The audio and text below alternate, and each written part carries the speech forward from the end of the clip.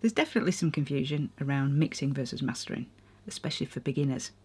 Today, I want to help clarify the difference between the two by explaining what happens during each stage and how they combine to create a song that's ready for release.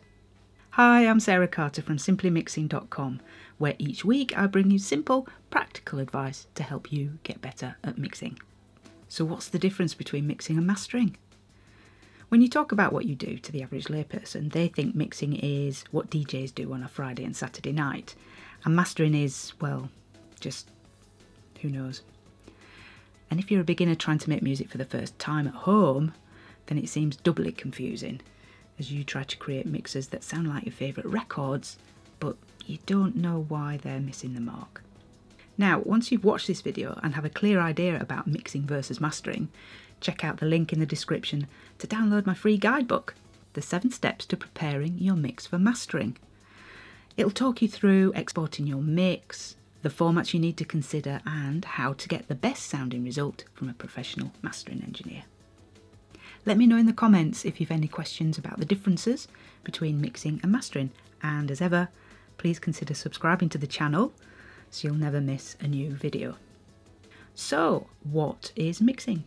Well, mixing is the blending together or balancing of all the multiple tracks from a recording session into one stereo mix in a way that's balanced, both in frequencies and volume and where everything can be heard clearly and in its own space.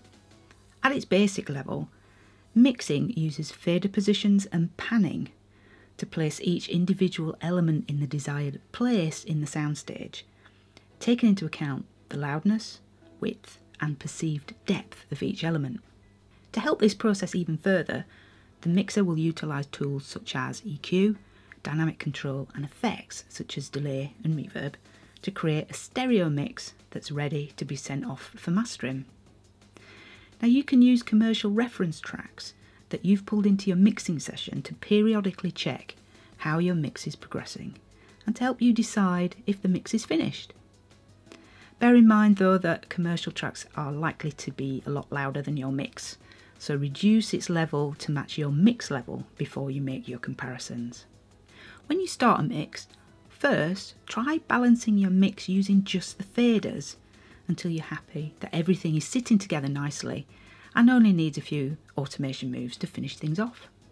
Next, move on to EQ to balance out your frequencies in your mix. Remove frequencies that are causing muddiness or harsh and unflattering resonances and boost frequencies that you like and will enhance each element in such a way that nothing pokes out of the mix as being too bright or too bassy. Finally, use the pan pots to create width in your mix and to help you place an element where you can hear it clearly. Now, I appreciate this is a very simplified overview of mixing, but it's a good place to start to understand how mixing and mastering differ from each other and what happens in each phase. Okay, so what is mastering? Mastering is the most misunderstood of the two. Mastering is the final stage your mixed song goes through to get it into an optimal state for release onto your format of choice and is applied only to the final approved stereo mix. Mastering involves getting the mix louder and to the correct specification for its destination, for example, online streaming services, CD, or vinyl. It also involves trying to correct any sonic imbalances that might be present in the mix such as an overly loud low end or a muddy mid range, which often happens when mixes are done in rooms that might not have much in the way of acoustic treatment and also have been done on monitors that don't represent the full frequency range and therefore can influence your mixing decisions in a negative way. The same tools are used in mastering as in mixing, so things like EQ and compression, but used in much smaller movements because the adjustments the mastering engineer makes affects the entire mix. A professional mastering studio is equipped with top quality monitors that are capable of reproducing the full frequency range and it's got specialist equipment that allows for very accurate changes to be made to the volume and the frequency balance.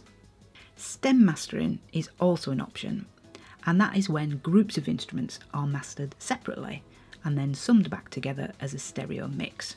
Groups of instruments are typically your drums, your bass, your guitars, your keyboards. They get summed back together after any frequency imbalances have been corrected on each group. Now, this is a more granular approach and isn't as common as the more traditional stereo mastering, but it can be useful sometimes to fix specific problems in a mix if the mixing session can no longer be accessed for some reason. Why have your tracks mastered at all? Well, mastering is a vital part of quality control and it ensures your music can sound the best it can possibly sound and stand up to its peers on the same playlist. It's a fact that if something sounds louder, it's perceived as sounding better than the previous track on the playlist. In fact, your mix might be loads better than the preceding track, but if it's 1 dB or even half a dB quieter, your listener will think it doesn't sound as good. Now, there's great value in having your mix assessed outside the studio it was mixed in to check its ability to translate to other systems and devices, and to have that final quality check from another experienced engineer to catch any major mixing mistakes or noises from dodgy edits or rumbles that you couldn't hear on your studio monitors because of their limited frequency response. If you've been mixing songs for an EP or an album over the course of several weeks, then it's possible that the tone of each song and the loudness of each mix may have changed subtly as the project has progressed because of the time it's taken for you to mix the whole album. Now, mastering will even out the tones and track levels of an album project, usually over the course of one day, so that it will sound like one coherent body of music or with the perfect gap lengths between the songs so that it flows and sounds like a finished record. Lastly, mastering can add the final polish or sheen to your music to help it sound its absolute best and to compete with other commercial releases. Mastering can bring clarity to muddy mixes, create more separation between instruments, and add width, and of course, loudness. So, can you master your own music? Yes, of course you can, but you might have to introduce some additional quality checks and extra monitors into your space to do so. You'll need some understanding into the specifications required to get the best results once your track is converted by the streaming services. And you'll need some specialised tools and meters to do that well.